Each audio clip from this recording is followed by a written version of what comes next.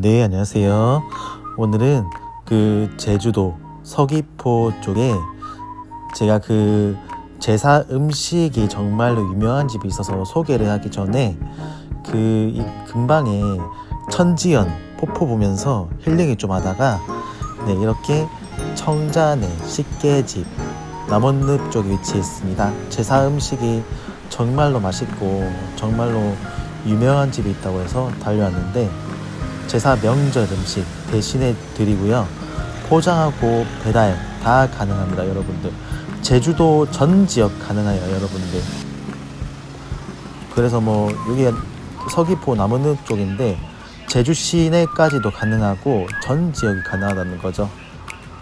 그리고 이 제사 음식을 여기 식당에서도 드실 수가 있습니다. 메뉴 메뉴가 따로 있, 다 있는데 여기 정말 옥돔이 정말로 맛있대요.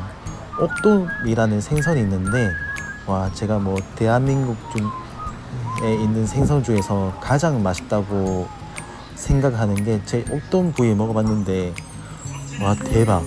뭐 소고기라든지 닭고기라든지 돼지고기라든지 뭐 이런 것보다 정말 더 맛있는 것 같아요. 네, 정말 이게 밥도둑이에요, 여러분들. 그 옥동구이 드셔보시면은 밥을 기본 두 공기 이상 드실 겁니다.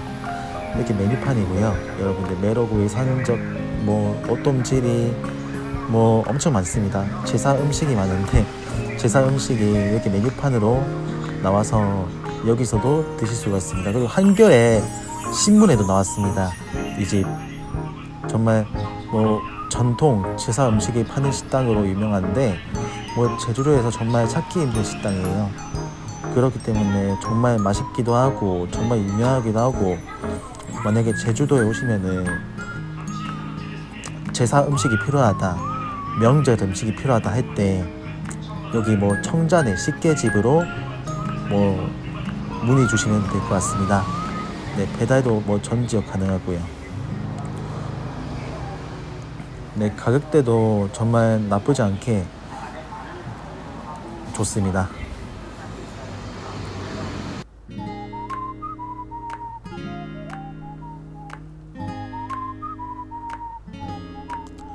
진짜 배기 제사 음식을 맛볼 수가 있습니다.